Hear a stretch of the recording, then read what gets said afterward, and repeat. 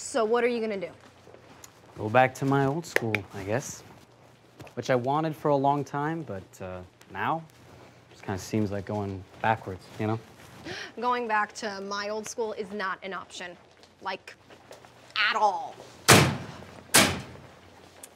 Well, at least wherever we end up, kids will realize how loud it is when you slam a locker. Hey, what's that?